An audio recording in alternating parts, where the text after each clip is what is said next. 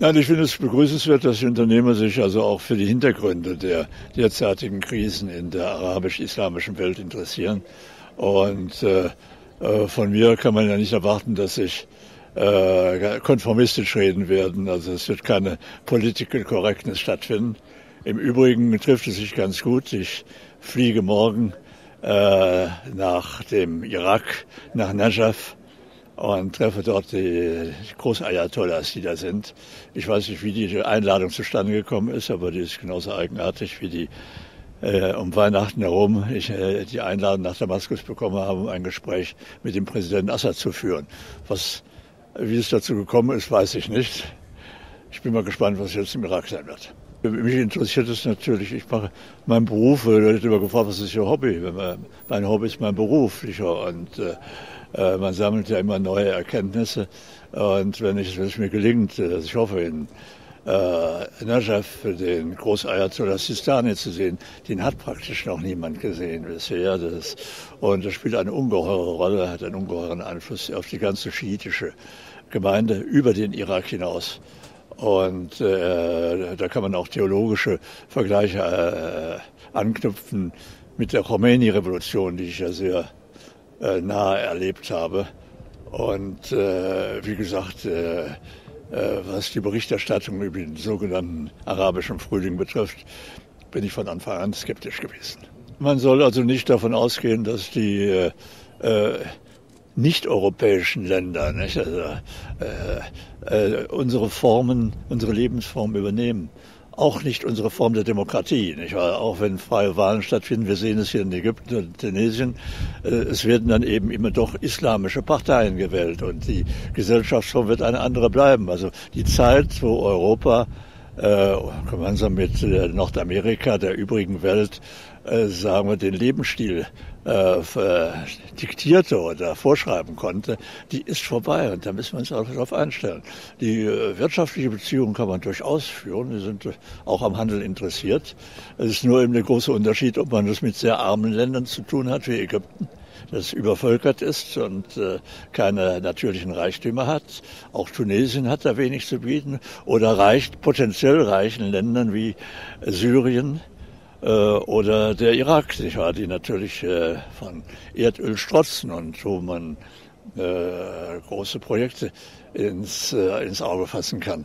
Äh, auch, auch Algerien ist in der Beziehung äh, begünstigt. Nur äh, eines darf man nicht vergessen, das ist alles noch ein sehr schwankender Boden.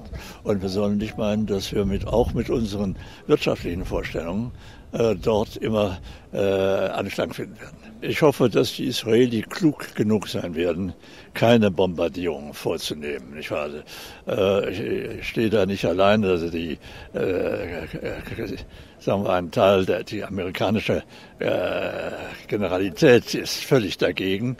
Äh, der frühere Chef des Mossad, äh, Dagan in Israel, schärfstens dagegen nämlich die Folgen dieser Bombardierung wären unabsehbar. Man soll die Iraner nicht unterschätzen. Sie können zurückschlagen und können vor allem im Persischen Golf und der Straße von Hormuz eine äh, Situation schaffen mit versenkten Tankern, die äh, dann auf einmal die Erdölpreise ungeheuer in die Höhe treiben würden und eine Weltwirtschaftskrise dann wirklich auslösen würden. Ja, ich gehe auf politische Aspekte rein und äh, da wir im Orient sind, im Islamischen Reich, dort ist äh, die Politik von der Religion nie zu trennen. Also das Prinzip Din wa Daula, wie es heißt, Religion und Staat, äh, steht zwar nicht im Koran drin, aber es ist doch äh, tief in die, in die, Menschen eingedrungen und hat eine viel größere Bedeutung, als es jemals im, im Abendland gehabt hat. Wir sollten auf jeden Fall den Kontakt halten. Wir sollten aber nicht dauernd immer als Moralprediger auftreten. Nicht wahr? Erstens haben wir dazu keine Berechtigung. Äh, zweitens hat es keine, keine Wirkung, eher eine negative.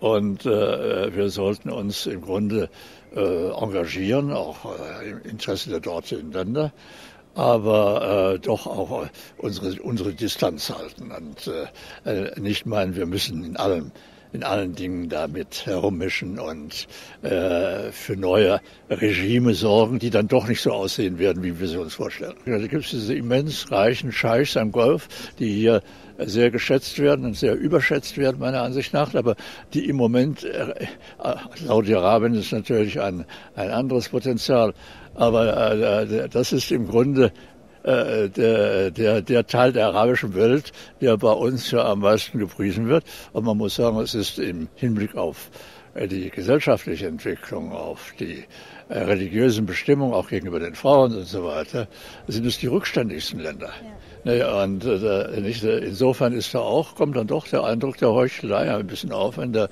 Westen eben nur mit den äh, Ländern dann kooperiert, die äh, auch sagen wir, nicht über die äh, entsprechenden moralischen Voraussetzungen, sondern über den äh, Reichtum an Mineralien, vor allem an Erdöl verfügen.